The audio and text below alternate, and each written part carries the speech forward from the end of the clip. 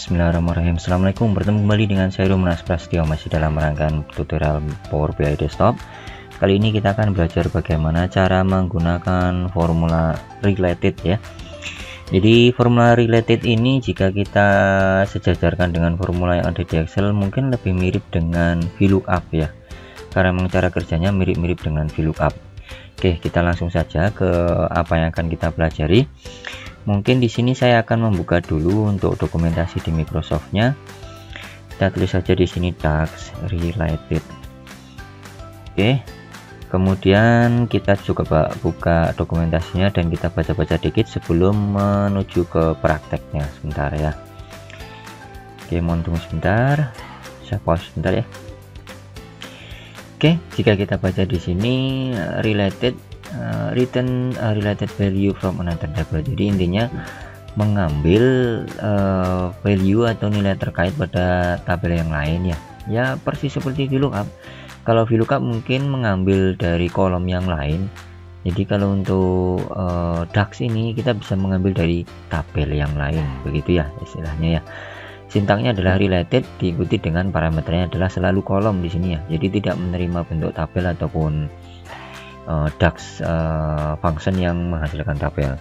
Jadi selalu uh, berisi uh, kolom ya kemudian parameternya ini dijelaskan kolom the column that contains the value that you want to retrieve. Jadi intinya kolom yang ingin kita ambil datanya ya. Uh, kita coba geser lagi ke bawah. Uh, return value a single value that is related to the current row. Jadi intinya uh, setelah nanti kita mereferensikan pada kolom mana di mana data-data yang akan kita ambil ada di sana dan return value-nya adalah a single value. Jadi value yang hanya satu satu hasil saja yang akan ditampilkan is related to the current row. Jadi yang selalu sama dengan row yang berkaitannya. Jadi pas seperti VLOOKUP. Jadi misalnya VLOOKUP barisnya adalah misalnya kode A maka yang ditampilkan value yang nanti untuk sebelah kanannya adalah uh, data dengan yang ada hubungannya dengan kolom A. Ya kita baca remarknya ya di sini ya biar lebih jelas The related function requires uh, that a relationship exists between the current table and the table with related information. Jadi intinya kita baru bisa menggunakan related ini jika kita sudah punya relationship antar tabel. Jadi uh, antara kedua tabel yang diambil value-nya tadi sudah saling terhubung dengan relationship apa itu relationship nanti saya jelaskan ya uh, sekilas saja sih walaupun enggak ini you specify the column that contains data that you want. Jadi kita menentukan kolom mana yang akan kita ambil datanya. And the function follows the existing many to one relationship or fetch the value from the specific. Maaf.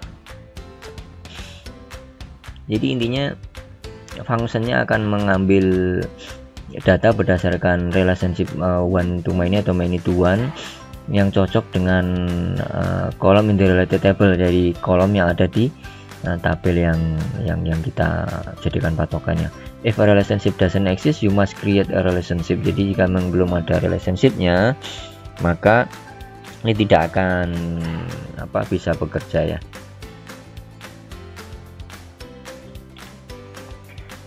Kemudian yang kedua when related function perform lookup it examines all values in the specific table regardless of any filters that may have been applied.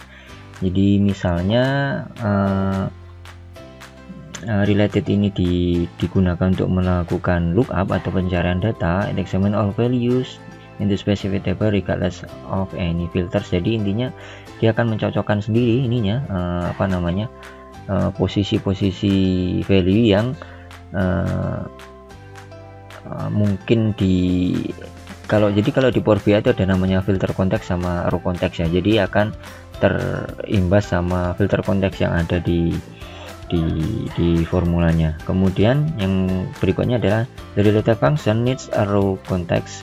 Therefore it can only be used in calculated column. Jadi related ini bisa digunakan di di, di calculated column tapi menggunakan row context ya uh, ini calculated column expression where the current row context is unambiguous. Jadi uh, di row konteksnya nggak ada item yang yang yang sama atau mirip ya. Uh, jadi uh, jelas yang dicari itu. Or a, a nested function in expression that uses in a table scanning function. Jadi atau ditumbuhi sama formula yang lain. Susah lah ini menjelaskan buat teman-teman yang yang masih pemula ya. Jadi kita skip aja. Table scanning function such as sum x gets the value of the current row value then scan. Nah ini tingkat selanjutnya lah. Kemudian related function cannot be used to fetch a column across a weak relationship saya belum tahu nih weak relationship seperti apa. Kita coba cek di, di contohnya oh ini agak susah dipahami. Jadi kita ke Power BI saja. Ini kita ke Power BI dan saya sudah membuat atau mempunyai dua buah tabel yang saya ambil dari OData Fit ya di Notewin Database. Uh, kita coba buka kategori. Kita mempunyai tabel kategori dan tabel sales atau tabel penjualan. Saat kita ke sorry ke data view ini adalah tabel untuk uh, penjualan atau salesnya. Jadi ada kategori ID ada product name dan product sales. Sedangkan di tabel kategori kita mempunyai kategori ID, kategori name, dan deskripsi. Jadi kita lihat relationshipnya. Ada tabel kategori dan ada tabel sales atau penjualan. Saat kita klik pada relationshipnya kedua tabel ini terhubung pada kategori ID yang uh, ada di masing-masing tabel. Jadi semisal saya ingin mencari kategori name tapi saya letakkan di sales sebagai kategori. Di sini bagaimana caranya? Ya kita bisa menggunakan related tadi ya. Di sini adalah kategori name. Kita coba uh, uh, ke sales kategori dulu ya. Uh, seperti tadi dibilang di sini di uh, dokumentasinya tadi. Bisa kita gunakan di row context di satu tabel ya. Disebutkan di sini function needs row context jadi kita coba praktekkan di Power BI nya. Jadi saya ke tabel sales. Saya double klik untuk salesnya. Nah tabel salesnya saya klik pada add new column. Saya ingin menambahkan satu uh, tabel di sini uh, sorry satu kolom di sini dengan nama kategori name. Jadi karena kategori tadi kategori name tadi adanya di tabel kategori di sini ya dan tidak ada di tabel sales Nah, sekarang saya ingin menambahkan uh, kategori name-nya di tabel sales di sini. Saya tambahkan new column. Jadi saya menciptakan row context ya, di mana hasilnya akan ditampilkan pada setiap row di sini ya. Jadi saya tuliskan saja di sini um, misalnya nama kolomnya ada contoh related gini ya related sama dengan related related kita coba uh, dari kategori dan kategori name-nya. Double klik tutup kurung. Nah kita di sini mempassing parameter berupa kolom ya. Sama seperti yang diminta tadi di uh, dokumentasi Microsoft adalah seperti ini. Adalah kolom jadi kita coba praktekkan. Kita tekan enter. Harapannya nanti uh, akan menampilkan kategori name dengan kategori ID nya adalah satu kita tekan enter. Kita coba lihat hasilnya. Ya.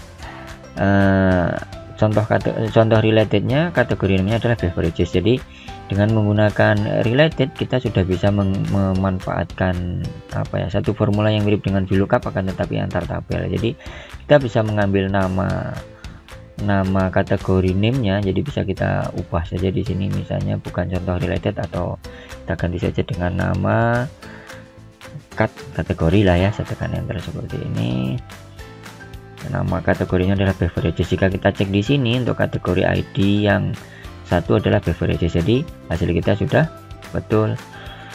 Oke ya.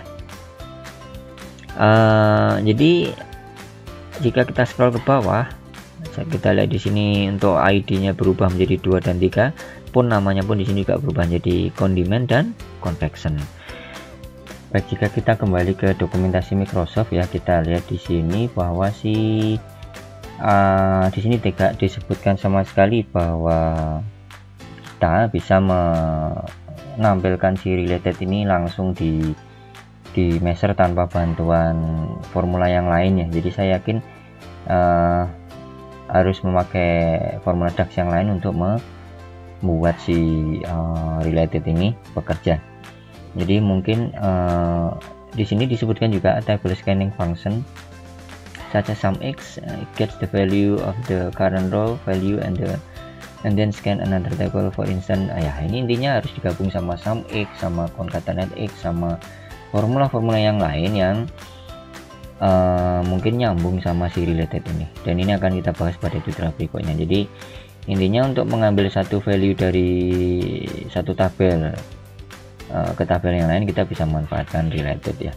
Uh, mungkin untuk tutorial yang berikutnya saya akan jelaskan bagaimana cara menggabungkan related dengan uh, beberapa formula DAX yang lain. Baik demikian tutorial kali ini. Mudah-mudahan bisa dipahami. Bertemu kembali dengan saya Rumenas Prastio masih darah melakukan tutorial yang lain. Tetap semangat tetap belajar. Jangan lupa klik subscribe uh, tombol like maupun uh, komen di bawah video tutorial saya ini. Oke tetap semangat kawan-kawan ya. Assalamualaikum warahmatullahi wabarakatuh